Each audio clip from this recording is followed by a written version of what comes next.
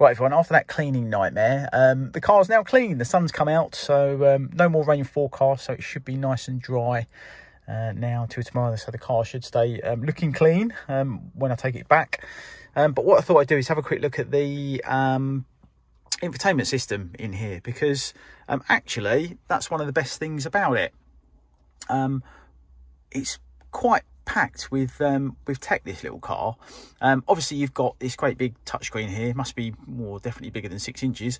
Um, but it gives you your sat nav and it gives you um, obviously your radio stations, all that kind of stuff. Um, you've got DAB, you've got Bluetooth streaming, obviously FM, but no one listens to that anymore. Um, and all the rest of these bits and bobs. So you've got navigation in here built in. I think it's based on TomTom, so that's pretty cool. Um, you've got your music, you've got all sorts of apps you can have, photo and videos. Haven't used any of that, so I doubt you will either. Um, but it looks like it's sort of Androidy based. Um, gives you info about the car, air quality, what's all that. Ooh. Okay, cool. So you can um, not breathe in the fumes off the M25, so I suppose that's quite cool as well. Uh, what else have we got in here? Let's have a look. Uh, also, you got your phone, um, info. Oh, we looked at that one a minute ago, didn't we? Pay attention. Um, settings in here. Oh, you've got driver assistance. So you've got traffic sign recognition. You've got lane keep assist, active braking, blind spot monitoring. They all work um, because I've been on the motorway and you get little lights in the lights in the mirrors. Um, so that's neat. Um, all of this works, and actually, this uh, this car has uh, traffic uh, or sorry speed camera recognition um, and it gives you a little bong as you approach camera, even if it's not uh, navigating anywhere. So again, that's um, not that we're, you know, not that you speed in a car intentionally, but it's blinking handy to have. Um, what else have we got in here? Car config, what is all the all the nerdy stuff, access and lights and wiping and welcomes and all of that scuff that you can spend hours setting up to your own uh, your own needs. And parking assistance. So I spotted this one a couple of times. Um, it has front and rear sensors and a camera. So what does the what does the camera do if you set it? Oh yeah, look, you can mess about with um, various bits and bobs in there. Um, sensors, I suppose that's sensitivity.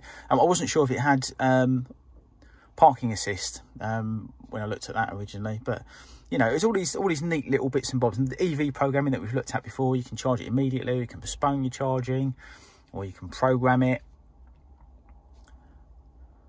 So that's cool. Um, what else have we got in here? Car config. Yeah, that's all your bits and bobs. Um, it also has uh, CarPlay, which is really, I can't show you that because I'm using my iPhone to film it, but you have CarPlay. I'm not sure if it's got Android Auto, but CarPlay is just genius. Once you've had it, it's it's so, so useful if you're used to having an iPhone. It basically turns your car into a big iPhone. Um, the stereo in it, um, I know that's something that people don't really cover too much, but let's have a little listen because I actually think for a standard stereo, and it is a standard, but it's bloody good actually. So let's have a little turn it up.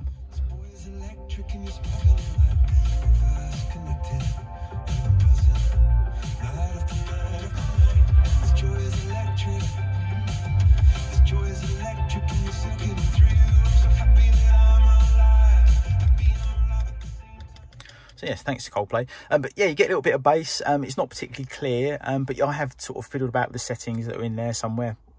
Um, and yeah, it's it's really reasonable, really decent. So you know, you've obviously got big old speakers in there. Um, you've got some tweeters on top of the dash over there.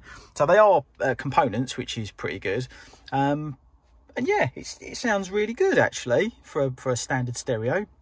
Um, obviously down here you've got your, your climate control, all those bits and bobs, um, and you've got your air conditioning, your front what's it, your back what's it. A um, couple of ports in there, got an aux port, two USB ports, they're normal USBs for this one. Um, and the other thing that we haven't really talked about, um, I'm going to turn that off, hang on, um, is this down here. So we've got the regenerative braking um, that I only started playing with yesterday. So basically what this does, if you've got two drive modes, you've got drive, which is your normal one, and uh, regenerative braking. So basically when you lift off the accelerator, the car actually comes to a comes to a stop. Well, not quite a stop, but it slows down. So you can one pedal drive. Now, it's, it is a bit weird. I've got to say, it's a bit weird until you get used to it. And even then, it's still a bit weird. Um, but what it basically does is it charges the batteries up when you take your foot off um, and sort of ekes out your mileage. So if you were sort of a bit desperate or you're really trying to be hyper miley, um, that's quite neat. I'll probably try that on the way back tomorrow. I was a bit scared to try it when I picked the car up. Um, for obvious reasons. But I'll, now I've done it a, a, little bit, used it a little bit, I'll probably give that a go um, tomorrow when I take the car back. Um, down here as well, we've got a wireless charging pad, so that's really nice to have. Um, automatic, uh, automatic electric brake, a couple of cup holders. Got a decent little shelf up here for passenger phones. Glove box is tiny. But yeah, I mean, you know, multi-function steering wheel, got all your bits on here, your phone stuff, allows you to go through all the screens up here. All these bits and bobs, you can change it all and mess about with it all. Customise it to your liking. Um, there's a little graph in there that shows you what the car's doing, whether it's charging the batteries when you're going along or whether it's doing something else. Um, so yeah, I mean, it's all, you know, it's neat. It's You've got your TFT screen in here as well.